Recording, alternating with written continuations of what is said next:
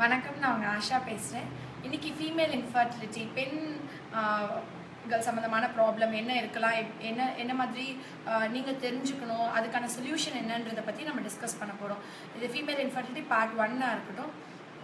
ஜென்ரலாக மேரேஜ் முடிச்சு முத பன்னெண்டு மாதங்கள் ஒரு வருஷம் வரைக்கும் ஒரு கணவருக்கு எல்லாமே நார்மலாக இருக்கும் பட்சத்தில் நார்மலான விந்து உயிரணுக்கள் எல்லாமே இருக்கும் பட்சத்தில் ஒரு பெண்ணால் கருத்தரிக்க முடியல. எந்த கான்ட்ரசெப்டிவ் மெஷர்ஸை எடுத்துக்காம அதாவது அவங்க வந்துட்டு கரு த- இருக்கிறதுக்கான எந்த ஒரு மெஷர்ஸை எடுத்துக்காம அவங்க ரெகுலர் செக்ஷுவல் இன்டர்கோர்ஸில் இருந்தும் கன்சீவ் ஆகலை அப்படின்னு சொன்னால் அதை வந்து ஃபீமேல் இன்ஃபர்டில்னு சொல்லுவாங்க. அதை ப்ரைமரி செகண்டரின்னு இருக்கலாம். ப்ரைமரின்றது முதல் தடவை கரு தரிக்கவே தவறுது. இல்லை ஒரு உயிரோட ஒரு குழந்தைய பெற்றுக்க முடியாமல் அபார்ஷன்ஸ் ஆயிருந்தால் கூட அது ப்ரைமரி இன்ஃபர்டிலிட்டியில் போயிடும் செகண்டரி இன்ஃபர்டிலிட்டின்றது வந்து ஏற்கனவே ஒரு குழந்தை பிறந்தோ இல்லை பிறந்து இறந்ததுக்கு அப்புறமா அடுத்த ஒரு தடவை அவங்க கருத்தரிக்க முடியல. செகண்டரி இன்ஃபர்டிலிட்டி இன் டீட்டெயில் பெருசாக மெடிக்கல் டேர்ம்ஸோ இல்லை சயின்டிஃபிக் அந்த மாதிரி எல்லாம் இல்லாமல் ஒரு மருத்துவ அறிவு இல்லாத ஒருத்தவங்க இன்ஃபர்டிலிட்டினா குழந்தை பெற்றுக்க முடியலன்னா என்னென்ன விஷயம் நீங்கள் தெரிஞ்சுக்கணும்? என்னென்ன விஷயம்லாம் இருந்தால் என்னென்ன டேர்ம்ஸ் இருந்தால் உங்களுக்கு நீங்கள் அதை ரெஃபர் பண்ணணும்? எந்தெந்த விஷயங்களை நீங்கள் டாக்டரோட அட்டென்ஷன் உங்கள் மருத்துவர் அணுகணுன்றதை பற்றின ஒரு விழிப்புணர்வு மட்டும்தான் இதில் இருக்கும்.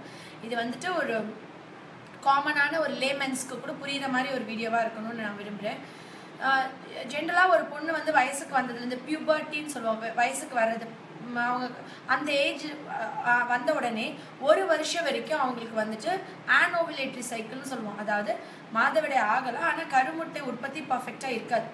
அப்போ ஒரு பெண் வந்து கருத்தரிக்கிறதுக்கான வயசு கரெக்டான ஏஜ் எப்போ இருக்கும்? எந்த ஏஜில் அவங்க வந்து ஃபர்டைலாக இருப்பாங்கன்னு பார்த்தா பதினைந்துலேருந்து இருபத்தி நாலு வயசு வரைக்கும் ஒரு பொம்பளை பிள்ளை வந்துட்டு ஈஸியாக கன்சீவ் ஆக முடியும். தேர்ட்டீஸில் போகிறாங்க முப்பது வயசில் போகிறாங்கன்னா அவங்க கன்சீவ் ஆகிற அந்த இது வந்து கொஞ்சம் டிஃபிகல்ட்டிஸ் ஃபேஸ் பண்ணலாம். அதே வந்து ஃபார்ட்டீஸில் வந்து அதிகமான அளவுக்கு அபார்ஷன் ஆகிறதுக்கோ இல்லை அவங்களுக்கு வந்துட்டு குரோமோசோமல் அப்நார்மாலிட்டி கிட்ஸ் பிறக்கிறதுக்கோ குழந்தைங்க பிறக்கிறதுக்கோ மரபணு மாறுபாடு குழந்தைகள் பிறக்கிறதுக்கோ வாய்ப்பு வந்து நாற்பது வயதுக்கு மேலே போகும் பொழுது.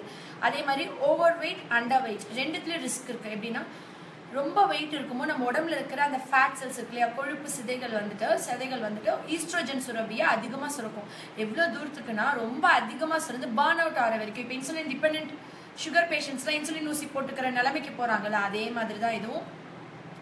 அந்த மாதிரி ஆகும்போது அவங்களுக்கு என்ன ஆகும்னா அவங்க வந்துட்டு ஃபர்தராக அவங்களுக்கு பீரியட்ஸ் ஆகாமல் போயிடும் மாதம் தலை குளிக்காமல் போயிடுவாங்க அதே மாதிரி ரொம்ப ஒல்லியாக இருக்காங்கல்ல பிள்ளைங்க அவங்களுக்கும் ஈஸ்ட்ரஜன் உற்பத்தி சீராக இருக்காது. அவங்களுக்கும் வந்துட்டு பீரியட்ஸ் ரெகுலர் ஆகும். அதே மாதிரி டைப் ஒன் சுகர்னு சொல்லுவாங்க. சிறு வயதிலேயே சர்க்கரை வியாதி. அந்த மாதிரி பிள்ளைகளுக்கு வந்துட்டு அவங்க வயசுக்கு வர்றதே கொஞ்சம் லேட்டாகும் அவங்களுக்கு சீக்கிரமாகவும் மெனோபாஸ் ஆயிரும். அதாவது மாதவிடாய் ரொம்ப சின்ன வயதிலே நின்றும் கூட போயிடும் இந்த ஏஜ்ன்றது எதுக்கு சொல்றேன்னா பருவத்தில் பயிற்சியை நம்ம காலத்துல சொல்லியிருப்பாங்க இல்லையா? இப்பெல்லாம் மேரேஜ் முடிச்ச உடனே நாங்க பிளான் பண்றோம் டூ இயர்ஸ் என்ஜாய் பண்றோம் அந்த மாதிரி சொல்லி தள்ளி போடுறது வந்து பண்ணக்கூடாது. ஃபர்ஸ்ட் பேபி நீங்க முதலே பெற்றுட்டா நெக்ஸ்ட் வந்து யூ கேன் போஸ்ட்பான் இந்த ஏஜ் இந்த பீரியட் இந்த சீசன்ல வந்து இது ரொம்ப காமனா இருக்கு. மேரேஜ் முடிச்ச எல்லாருமே வந்துட்டு எதர் தி பிளான் அப்படி இல்லைன்னா தி கோ ஃபார் இது என்ன சொல்றது? பிரிஞ்சு இருக்கிறோம் அவங்க ஃபாரின்ல இருக்காங்க இந்த மாதிரிலாம் இல்லாம மேரேஜ்க்கு முன்னாடியே பிளான் பண்ணிக்கோங்க. நம்ம வந்து மேரேஜ் முடிச்சோடனே கன்சீவ் ஆகிறதுக்கு ஒரு த்ரீ மந்த்ஸ் முன்னாடியே ஒரு பெண் குழந்தையா இருந்தால் ப்ராய்லர் சிக்கன்ஸோ இல்லை நிறைய ப்ராய்லர் முட்டையோ அதே மாதிரி bakery items junk foods chocolates இந்த மாதிரி ஒயிட் சுகர் உள்ளது ரொம்ப உடம்புல கொழுப்பு சத்து சேரக்கூடிய அந்த மாதிரி உணவு பதார்த்தங்கள்லாம் கட் பண்ணிட்டு எல்லா காய்கறிகள் எல்லா பழங்கள் எல்லாமே மோஸ்ட்லி ஹோம்மேட் வீட்டில் சமைச்ச சாப்பாடாக இருக்கட்டும் நான்வெஜ்ஜில் வந்துட்டு இதை தவிர்த்து மீதி எல்லாமே நீங்கள் சாப்பிடலாம். அந்த கருத்தரிக்கணும் ட்ரை பண்ணுறவங்க வந்துட்டு நாட்டுக்கோழி மட்டன் மீன் நண்டு ப்ரான் மீதி எல்லாமே மீதி எல்லாம் நான்வெஜ் சாப்பிடலாம் எக்ஸப்ட் ரெட் மீட்ஸ் சிகப்பு இறைச்சி சாப்பிடக்கூடாதுன்னு சொல்வேன் அதில் வந்து அதிகமான அளவுக்கு அமோனியா இருக்கும். அது வந்து உங்களுடைய மாதவிட மாதம் மாதம் ஆகிறத வந்து ரொம்ப டிஸ்டர்ப் பண்ண முடியும். அதனால அதை நாங்கள் கண்டிப்பாக அவாய்ட் பண்ணணும்னு நாங்கள் சொல்வோம். ஆஹ் அதே மாதிரி பாட்டிலில் அடைக்கப்பட்ட எல்லா குளிர்பானங்களும் நீங்கள் அவாய்ட் பண்ணிட்டு பழச்சாறுகள் எடுத்துக்கோங்க. எல்லா பழம் ஜூஸும் குடிங்கன்னு சொல்லுவேன். நிறைய ஒருத்தவங்க லாஸ்ட் நான் ஃபோட்டோ போஸ்ட் பண்ணியிருந்தப்ப கேட்டிருந்தாங்க ஃபெலோஃபின் டியூப் பிளாக் பற்றி சொல்லுங்க அக்கா அப்படின்னு சொல்லிட்டு. ஃபெலோஃபியன் டியூப்ன்றது வந்து அதாவது நம்மளோட கர்ப்பப்பை பக்கத்துல இருந்து ரெண்டு டியூப் இருக்கும். அந்த டியூப் வந்து போய் முட்டை இருக்கிற இடத்துல முடியும். மாசமான ஜென்ரலாக வந்து எல்லாருக்கும் இந்த சேஃப் பீரியட் ஓவலேஷன் பீரியட் கூட தெரியல. அதை பற்றின ஒரு சின்ன பாயிண்ட் சொல்கிறேன் அதாவது ஒரு பொண்ணு பீரியட்ஸ் ஆயிடுச்சுன்னா அந்த முத ஏ சுத்தமாக இருந்து மொதல் ஏழு நாள் கடைசி ஏழு நாள் வந்துட்டு அவங்களுக்கு முட்டை வராது. அது வந்து சேஃப் பீரியட்னு சொல்லுவோம். ஜென்ரலாக ஃபேமிலி பிளானிங் பண்ணாத லேடிஸ் குடும்ப கட்டுப்பாடு பண்ணலை அப்படின்னா அந்த முதல் ஏழு நாள் கடைசி ஏழு நாள் வந்து கணவரோட எந்த கான்ட்ரசெப்டிவ் இல்லாமல் காண்டம்ஸ் கூட யூஸ் பண்ணாமல் தாம்பத்தியத்தில் இருந்தால் கருத்தரிக்க மாட்டாங்க.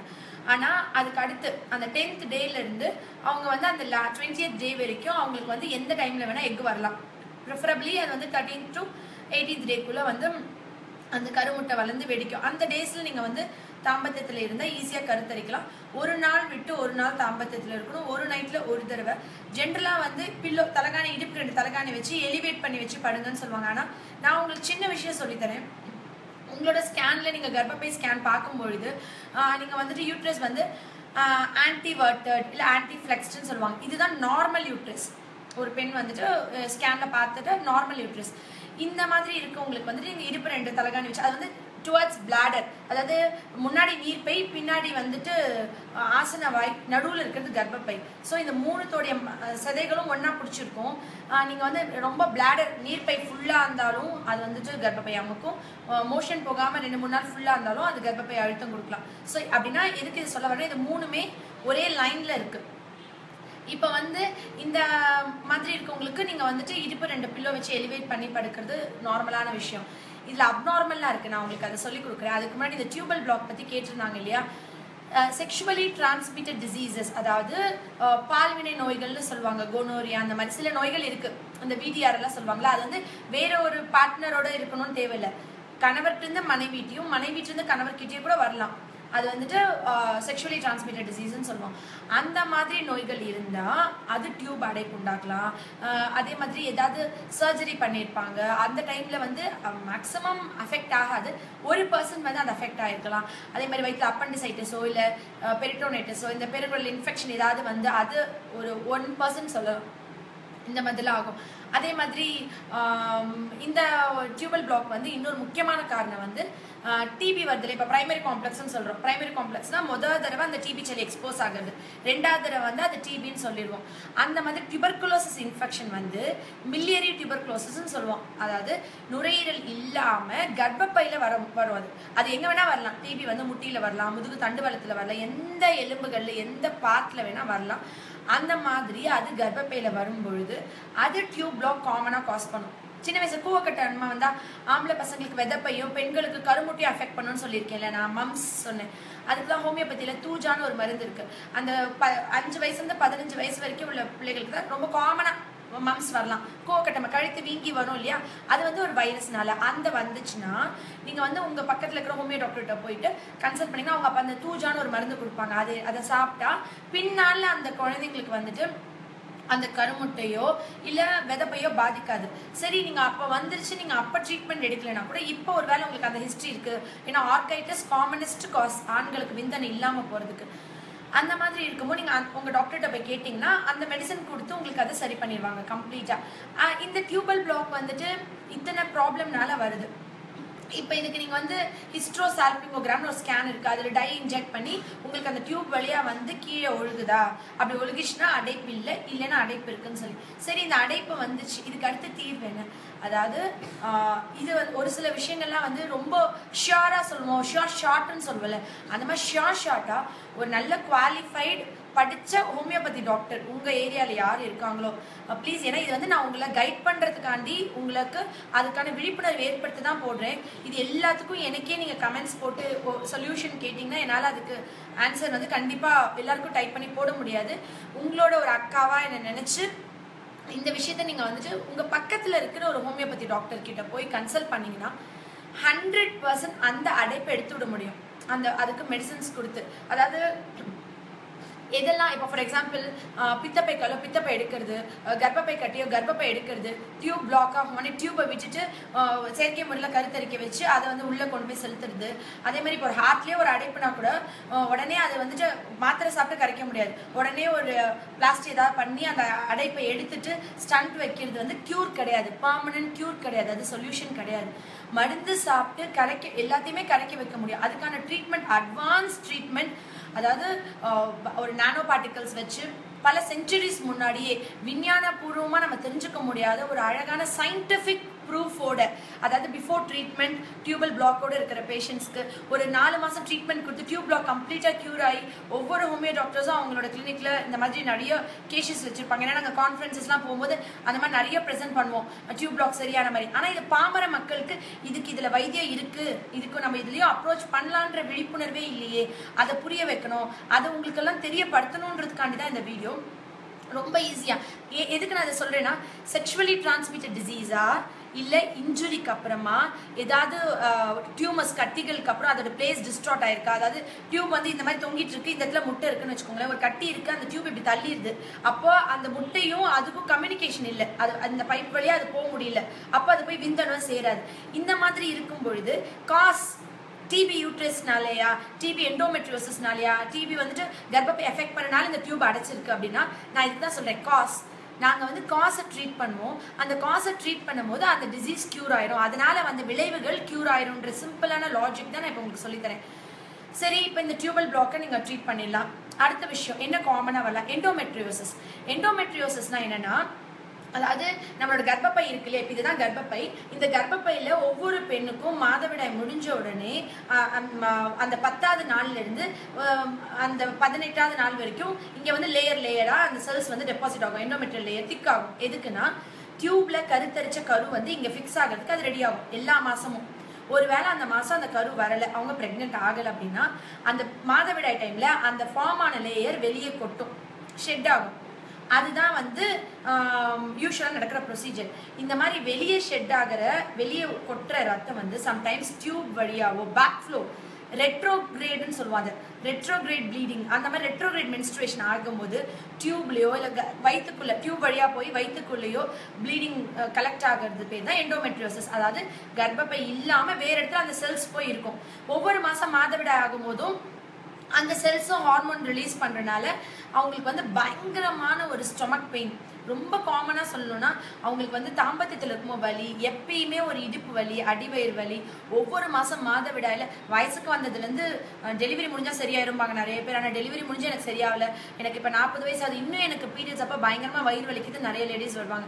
அவங்களுக்கு நம்ம ஸ்கேன் பார்த்தோம்னா எண்டோமெட்ரியோசஸ் சொல்லுவாங்க. இது நான் சின்ன டிப்ஸ் இப்போ ஜென்ரலாக நிறைய காலேஜஸில் என்னை பேச கூப்பிடுவாங்க ஃபீமேல்ஸ்க்கான ஒரு அவேர்னஸ் ஹெல்த் அவேர்னஸ் லேடிஸ் காலேஜில் இப்போ எஸ்எஸ்எம் காலேஜ் போனேன். அந்த மாதிரி நிறைய நிறைய இன்ஜினியர் இப்போ காரைக்குடி அழகப்பா இன்ஜினியரிங் காலேஜில் உமையால் ராமநாதன் நிறைய காலேஜஸில் வந்து என்னை வந்து பெண் குழந்தைங்களுக்கான சேஃப்டி மெஷர்ஸ் ஹைஜீனிக் மெஷர்ஸ் என்னென்னலாம் பண்ணணும்னு சொல்லி கொடுக்க கூப்பிடுவாங்க. அப்போ நான் எல்லா பொம்பளை பிள்ளைங்களுக்கும் சொல்கிற விஷயம் வந்து மூணு மணி நேரத்துக்கு ஒரு தடவை உங்களுடைய சானிட்ரி பேட்ஸை நீங்கள் மாற்றிடணும் நீங்கள் வந்து அந்த மாதிரி வச்சிருக்க கூடாது. சிலர் வந்து என்ன பண்ணுவாங்கன்னா தேர்ட் டே எனக்கு அவ்வளோவா ஃப்ளோ இல்லைன்னு சொல்லிட்டு காலையில் வைப்பாங்க ஈவினிங் வந்து சேஞ்ச் பண்ணுவாங்க. சிலர் வந்து ஆஃபீஸ் ஒர்க்கர்ஸாக இருப்பாங்க.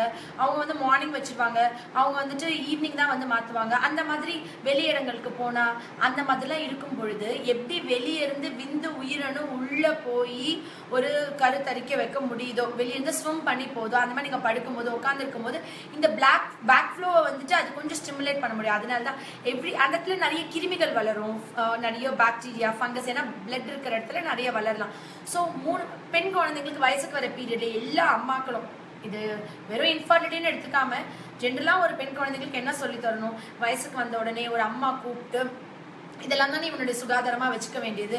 நீ வந்துட்டு ஒரு மூணு பண்டகாமன்ஸ் ஒரு மூணு செட்டி தனியாக எடுத்து வச்சுட்டு இது இந்த டைமில் மட்டும் யூஸ் பண்ணணும். இது ரெகுலராக டைமில் யூஸ் பண்ணணும்.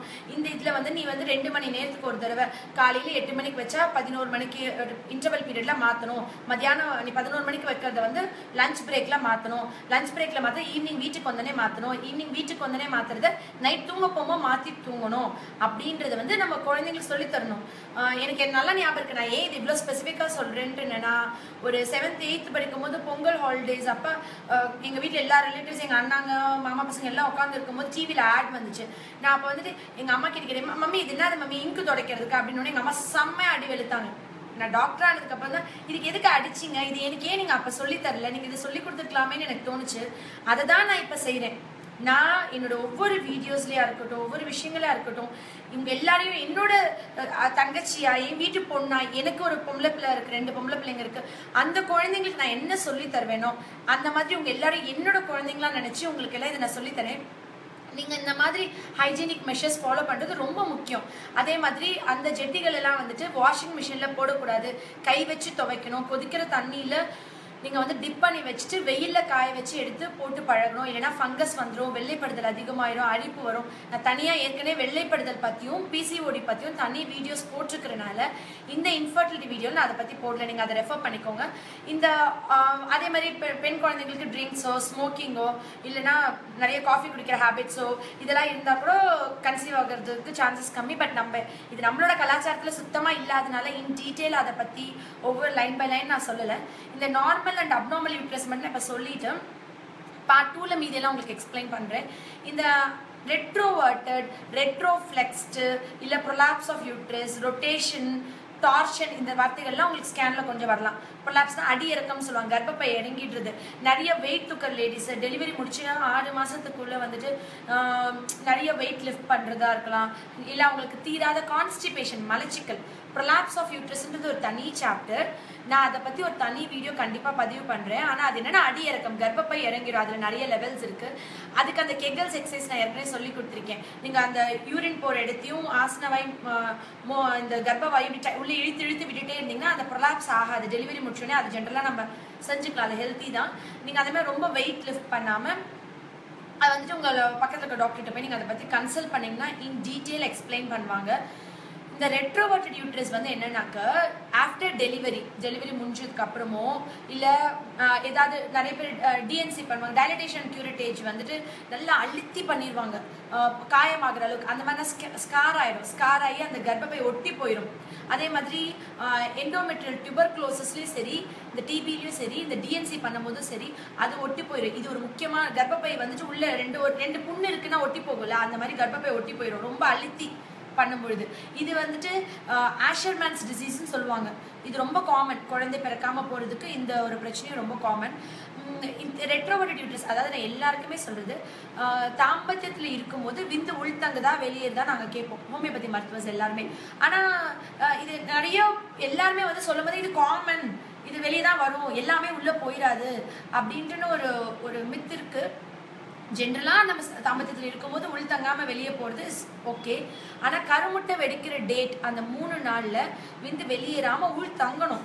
அது ரொம்ப இம்பார்ட்டன்ட் அந்த விந்து உள் தங்கினாதான் அவங்க வந்துட்டு கருத்தரிக்க முடியும். அந்த விந்து உள் தங்கினாதான் அது போய் டியூபோட டியூப்ல போய் வெயிட் பண்ணிட்டு இருக்கிற முட்டையோட சேர்ந்து கருத்தரிச்சு அந்த கர்ப்பப்பையில வந்து வளர முடியும். விந்தே உள் தங்கலைன்னா அவங்க கருத்தரிக்கிறதுக்கான வாய்ப்பு ரொம்ப கம்மி. அதனால தான் இப்போ அலோபதி மருத்துவ முறையில் வந்துட்டு இந்த மாதிரி விந்து உள் தங்காதவங்களுக்கு ஐயுஐ இன்ட்ரா யூட்ரைன் இன்செமினேஷன் அதில் ஒன்றும் மருத்துவ இது கிடையாது. எடுத்து விந்தை வாஷ் பண்ணிட்டு அவங்களுக்கு அந்த கரெக்டாக முட்டை வெடிக்கிற டேட்டில் அவங்க வந்து உள்ளே செலுத்தி விட்டுட்டு எலிவேட் பண்ணி ஒரு த்ரீ ஹார்ஸ் படுக்க வைக்கிறது. அது அதில் வந்துட்டு வேறு எந்த மெடிக்கல் இதுவும் பெரிய சயின்டிஃபிக் அட்வான்ஸ்மெண்ட் கிடையாது. அது என்னன்னா விந்து உள் தங்காமல் அதை வந்து உள் தங்க வைக்கிறதுக்கான ஒரு சின்ன ப்ரொசீஜர் ஆனால் ஹோமியோபதியில் வந்து ரொம்ப சிம்பிள். நேற்றம் கார்பன் ஒரு மருந்து இருக்கு.